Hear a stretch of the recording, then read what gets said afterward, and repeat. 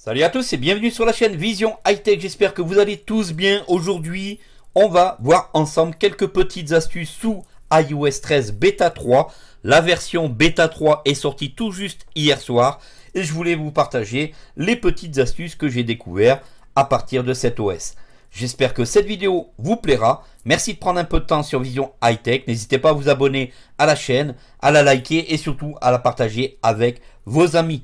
On va donc voir iOS 13 Beta 3, les petites nouveautés sympathiques. Voilà donc c'est parti pour cette vidéo. En avant pour les petits trucs et astuces sur iOS 13 Beta 3.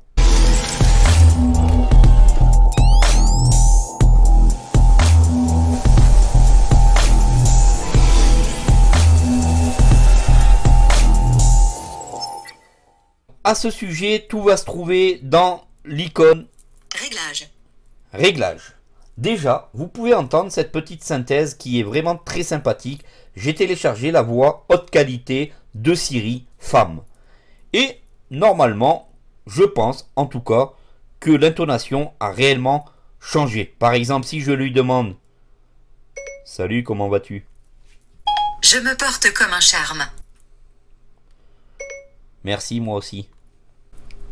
Contente que nous soyons sur la même longueur d'onde. Est-ce que vous avez entendu cette syntaxe, cette prosodie Elle est vraiment excellente. On entend vraiment très bien la voix. Elle s'est vraiment améliorée et c'est vraiment un plaisir avec cette voix HQ haute qualité. C'est vraiment très sympathique. On va donc se diriger dans Réglage. Réglage. Une fois dans Réglage, on va se diriger dans Téléphone. Son et vibra. Rang. Mode. Mail. Contact. Téléphone. Bouton. On va rentrer dans Téléphone. Appel. Voilà donc le premier choix, appel. Annonce d'appel. Bouton. Annonce d'appel. Si vous désirez que votre iPhone vous annonce le numéro de l'appelant ou le nom de l'appelant vous soit dicté directement par l'iPhone, c'est ici qu'il faudra mettre sur toujours. Ensuite, Signalement des SMS barre oblique appel. Bouton. Afficher mon numéro. Bouton. par exemple, vous désirez que votre numéro ne soit pas affiché lorsque vous appelez quelqu'un. Vous voulez vous mettre en identité protégée, c'est ici que vous allez rentrer. Retour. Afficher mon numéro. En tête. Afficher mon numéro. Activé. C'est ici que vous allez désactiver et c'est comme cela que vous allez être en identité protégée. C'est à partir de cette option, si vous désirez être en identité protégée, que vous allez aller décocher. Et voici donc la toute nouveauté dans iOS 13. Vous allez pouvoir maintenant Appel silencieux et contact bloqué. En tête. appel silencieux et contact bloqué. Appel d'inconnu silencieux. Désactivé. Appel d'inconnu silencieux. Ici le bouton est désactivé, je vais l'activer. Activé. Et maintenant, toutes les personnes qui vont vous appeler sous un numéro privé, sous un numéro caché, eh bien, ils seront éjectés directement dans votre messagerie et vous allez pouvoir donc avoir affaire à eux seulement s'ils vous laissent leur numéro de téléphone sur votre messagerie. Ça, ça n'existe pas dans iOS 12 et c'est vraiment pas mal du tout que Apple ait pensé à nous mettre cette option pour bloquer les numéros privés. Contact bloqué. Bouton. On peut donc bloquer des contacts ou des numéros de téléphone qui nous importunent directement à cet endroit-ci. Code secret de messagerie. Bouton. Réglage. On va toujours continuer dans Réglages et on va aller dans le centre de contrôle. Centre de contrôle. Bouton. Réglage. Bouton. Avec le centre de contrôle, on va pouvoir ajouter différentes choses dont Personnaliser les commandes. on va donc pouvoir personnaliser les commandes et rajouter quelques petits boutons supplémentaires que l'on n'avait pas sous iOS 12. Retour. Bouton. Dictaphone. Rentre autre commande. En tête. Vous allez donc tout en bas de cette fenêtre sur Autre commande et ici on peut insérer des nouvelles commandes. Insérer alarme. Bouton. Alarme, Alarme. Insérer chronomètre. Bouton. Chronomètre. Insérer mode économie d'énergie. Bouton. Mode économie. Insérer ne pas déranger en voiture. Bouton. Ne pas déranger. Insérer note. Bouton. et on peut insérer notes, ce qu'on va faire tout de suite. note. Donc on vient d'insérer, on va dans le centre de contrôle, Centre de contrôle. Mode calcul. Page 2 sur 2. tout en bas. Loop.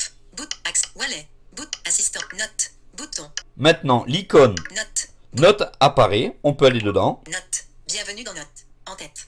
Ajoutez-y presque tout. Capturez des documents, photos, plans et plus pour une utilisation optimale de notes. Notes personnelles ou à partager. Invitez d'autres personnes à consulter ou à modifier une note. Griffonnez vos pensées. Dessinez avec votre doigt, tout simplement. Continuez. Bouton. Continue. Et voilà, donc à partir du centre de contrôle, vous êtes capable d'aller directement dans vos notes et ça c'est super génial. Et il n'y a que iOS 13 qui va vous proposer cette fonctionnalité. Ne pas déranger en voiture. Vertical scroll bar. Alors toujours en restant dans le centre de contrôle, le 3D Touch sur les premières versions iOS 13 ne fonctionnait plus. Maintenant, avec le 3D Touch, ça fonctionne et on va pouvoir simplement avec 3D Touch directement aller choisir les meilleurs réseaux, nos meilleurs réseaux déjà sélectionnés. Wi-Fi. Livebox. On fait donc un appui long. Ici, instantanément, tout ce qui concerne les réseaux s'ouvre. Mode avion. Bouton. Données cellulaires. Bouton. Wi-Fi. Livebox 46C4. Boot. Bluetooth. Bouton. AirDrop. Tout le monde. Partage de connexion. Bouton. Des... Donc, partage de connexion, vous allez pouvoir le faire à partir directement du centre de contrôle. Et ici, Wi-Fi. Livebox. Au niveau du Wi-Fi, vous allez pouvoir directement aller rechercher les meilleurs réseaux ou vos réseaux préférés directement à partir du centre de contrôle. Et ça aussi, c'est dans iOS 13. Voilà donc les petites options supplémentaires que l'on peut insérer dans son centre de contrôle. Des petites nouveautés aussi dans FaceTime. Bouton. FaceTime.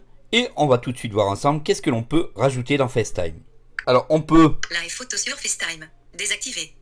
on peut donc faire des live photos à partir de FaceTime. FaceTime attention correction. Activé.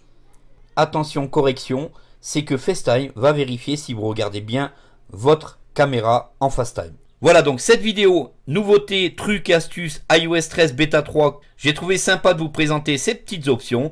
J'espère que cette vidéo vous aura plu. N'hésitez pas comme d'habitude à vous abonner à la chaîne Vision High Tech, à partager, à liker. Et on se dit donc à très vite pour une prochaine vidéo. Salut à tous